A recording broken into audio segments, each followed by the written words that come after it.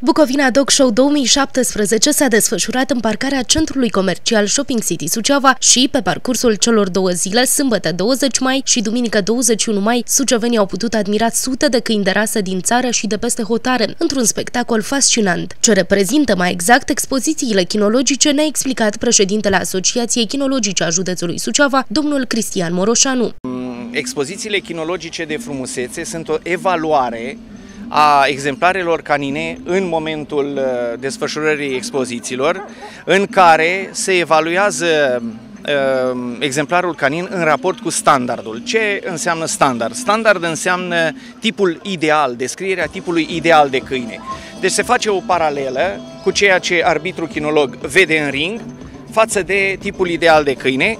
Toate aceste constatări, în urma analizei sunt uh, consemnate într-o așa numită foaie de arbitraj, însemnând proporțiile importante ale câinelui, uh, fenotipul uh, capului, fenotipul gâtului, tot ce înseamnă corpul, membrele anterioare și posterioare, inclusiv portul cozii, lungimea și portul cozii și totodată mișcarea câinilor. Este un punct important în descrierea exemplarului, mișcarea câinelui. Bucovina Dog Show a reunit două expoziții kinologice naționale multirasă, cu decernarea titlului CAC, certificat de aptitudini pentru campionat.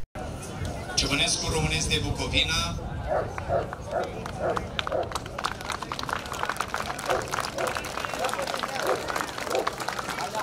Mulțumim.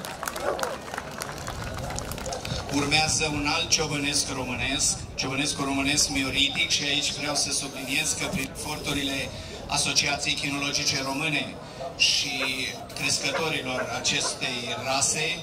În 2015 a avut loc un eveniment important, poate cel mai important eveniment din chinologia română, omologarea a două rase de ciobănești românești, de altfel singurele animale de origine română recunoscute pe plan mondial. Uh, principala miză, acordarea titlului de CAC. Acest uh, din acronimele CAC uh, înseamnă certificat de aptitudini pentru campionat. Este un titlu care îi permite câinelui să devină campion al României.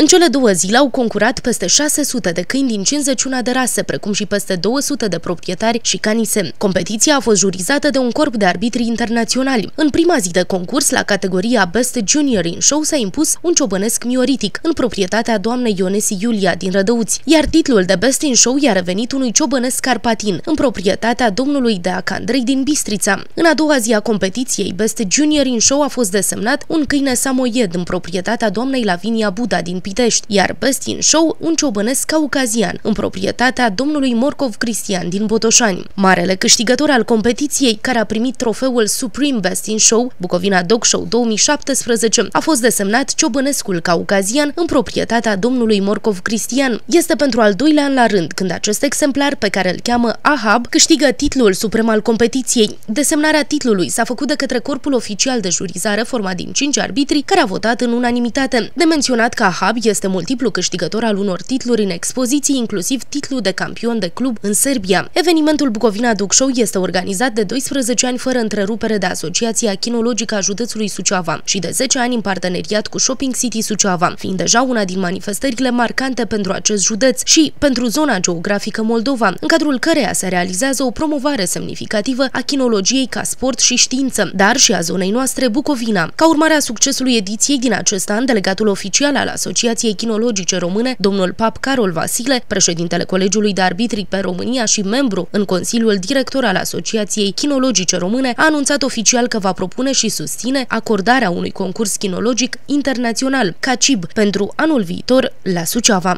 Eu sunt uh, membru și în Consiliul Director al Asociației Chinologice Române. O să fac uh, și un raport absolut pozitiv despre această expoziție și o să vin cu o propunere ca una din aceste două zile să fie o expoziție internațională și at atunci, în mod sigur, expozanții vin cu un număr mult mai mare decât acum. Eu cred că Suceava are posibilități de 4-500 de exemplare.